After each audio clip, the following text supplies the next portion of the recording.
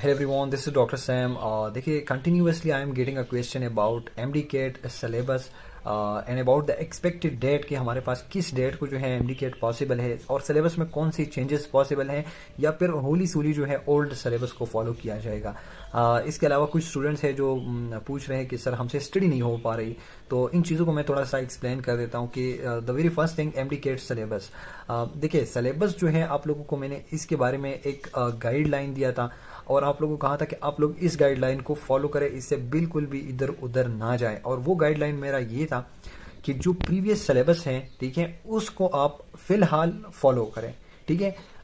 फ़िलहाल से मेरा मुराद ये है कि अभी तक खैबर मेडिकल यूनिवर्सिटी जो के में है, उसने भी ये चीज़ क्लियर किया था और बाकी के लिए भी मैं कह रहा हूँ, पंजाब के लिए, सिंध के लिए, ठीक है सबके लिए मैं कह रहा हूँ कि आप लोग अपने पुराने सिलेबस को फॉलो करें, ठीक है? अब इससे आप लोगों को एक फ़ायदा तो ये हो जाएगा कि अगर जब तक अनाउंसमेंट ना हो जाए तो अगर ईंड तक अनाउंसमेंट कोई नहीं हुआ तो वो आपको ज़रूर कहेंगे कि आप लोग पुराना वाला सिलेबस फॉलो करें, उसमें आपका टेस्ट होगा। लेकिन अगर उसमें कोई चेंजेस आती है तो सिलेबस फॉलो करने के बाद आप उन चेंजेस को जो है कवर करें। ठीक है? तो इससे ये, लेकिन लेकिन एक बात इसमें इंपॉर्टेंट है कि अनाउंसमेंट से पहले पहले जो सिलेबस है, इसको आप लोग ऐसे कवर करें कि दोबारा से इस चीज़ को देखने की ज़रूरत ना पड़े। ऐसा ना हो कि अनाउंसमेंट के बाद आपने जो है सिलेबस को ज़बरदस्त तरीके से कवर ना किया हो और फिर आप वो आपसे सपोज़ आपको दो, तीन, चार चैप्टर ऐड कर देते हैं। फिर आप कहते हैं कि यार ये तो अब नहीं हो सकती। तो उससे पहले पहले सिलेबस में आपकी बात नहीं होनी चाहिए। हंड्रेड आपका क्लियर होना चाहिए, ठीक है?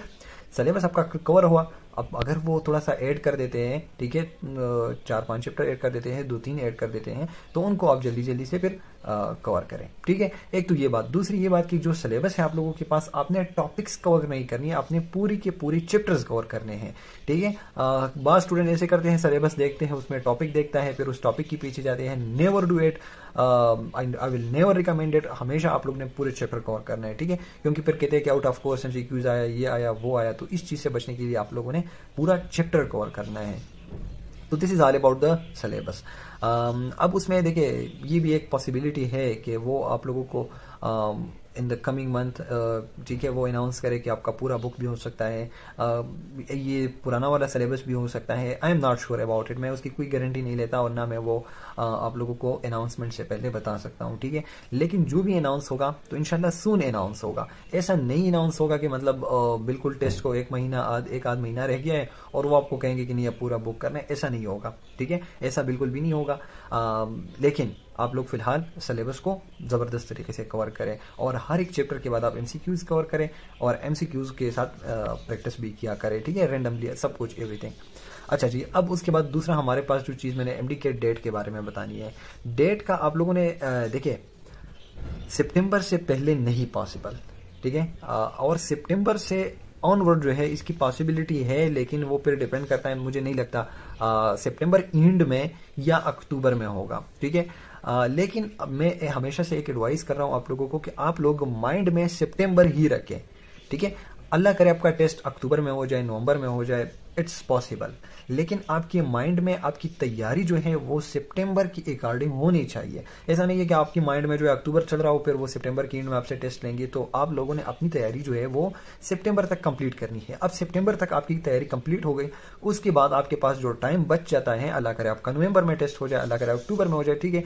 तो जो बाकी टाइम आपके पास रह जाता है तो उसमें आप लोग ज़बरदस्त किस्म की रिविजन कर सकते हैं।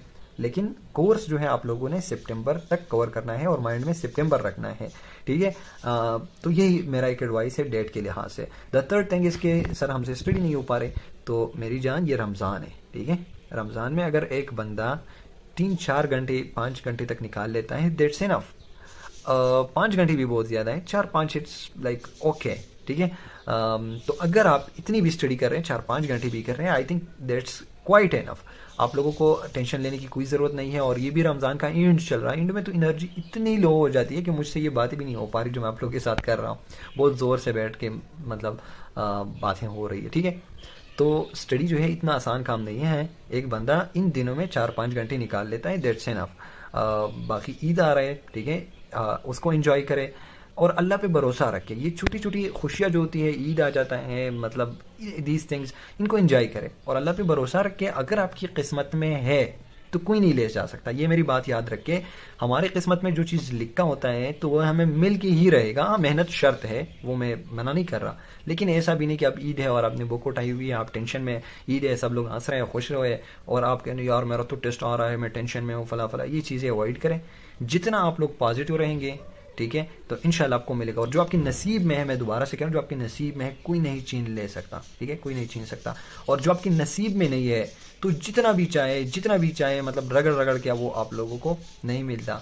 लेकिन मेहनत करेंगे तो जहाँ भी हो, अल्लाह आपको अच्छी से अच्छी सी चीज़ जो है उसे नवाजेगा, ठीक है? Thank you so much enjoy अल्लाह हाफिज़.